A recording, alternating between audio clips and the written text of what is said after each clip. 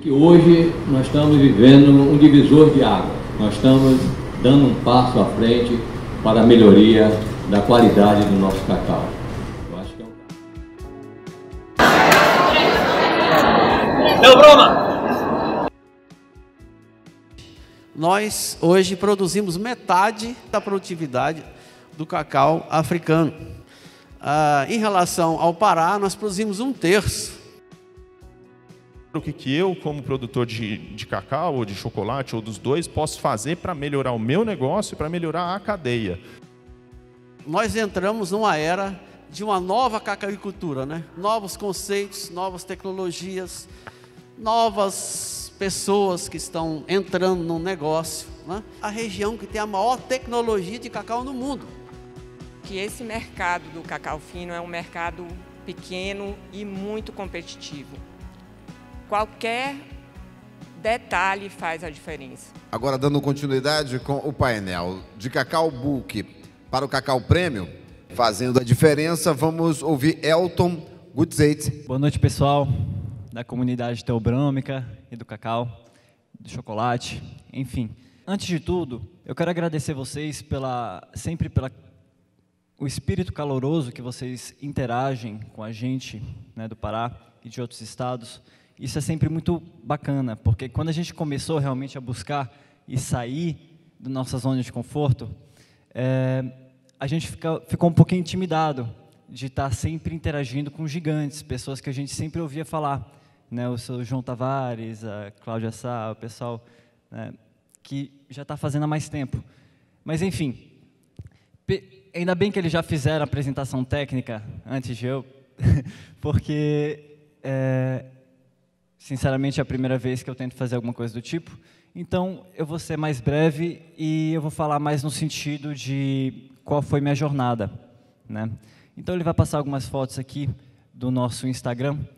Ali tem o pessoal na roça de cacau. É, basicamente, a gente tem os híbridos, né, que a CEPLAC fez no distribuiu lá no, no Pará através do germo, banco germoplasma de Medicilândia e por muito tempo falaram que o cacau lá do Pará e da Amazônia era considerado refúgio pela dificuldade em se selecionar os varietais é, dos blends, né? Poder fazer uma coisa, um blend harmonioso que seria realmente um cacau fino. Então, por quase cinco décadas, a gente foi taxado como cacau de refúgio. É, em pouco tempo, a gente percebeu que não era o caso. A gente resolveu encarar esse desafio não foi fácil, a gente sabe que não é fácil. Algumas pessoas aparentam, gostam de manter a aparência de que tem essa facilidade, mas nada é fácil no cacau.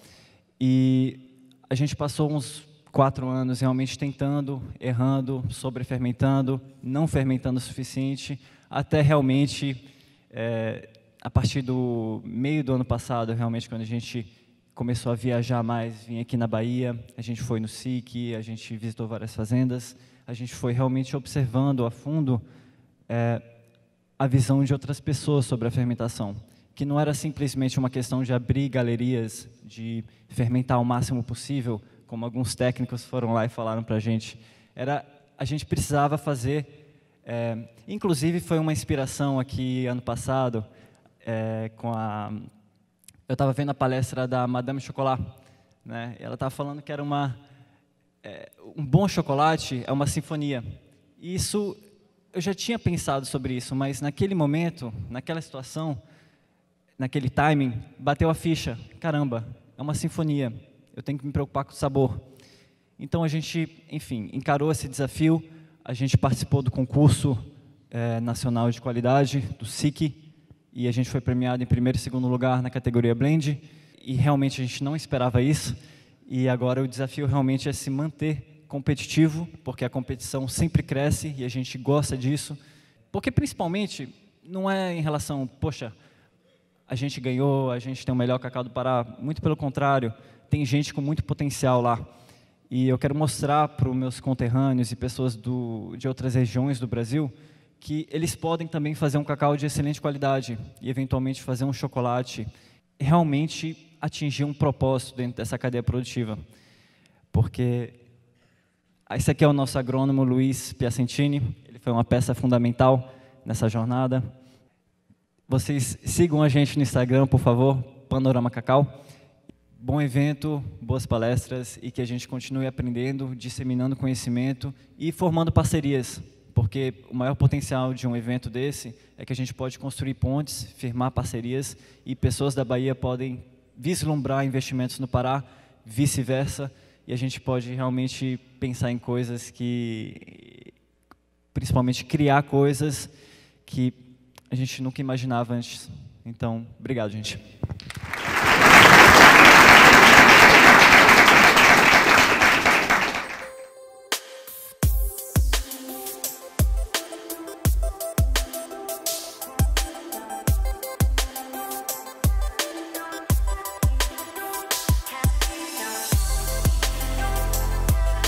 Gente está vendo a oportunidade de, por exemplo, compartilhar o nosso conhecimento e inspirar através do que a gente já vai fazendo e mostrar para outras pessoas também se engajar e fazer.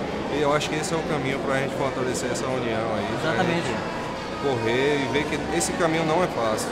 Cada propriedade tem sua particularidade, mas tem um, vamos falar assim, um fiozinho ali que une, que é justamente o cacau e suas práticas para falar em qualidade, pratos culturais, né? produtividade. E aquela frase que você cunhou, e é que é sua, né, agora? O cacau é, Simples, mas não é fácil.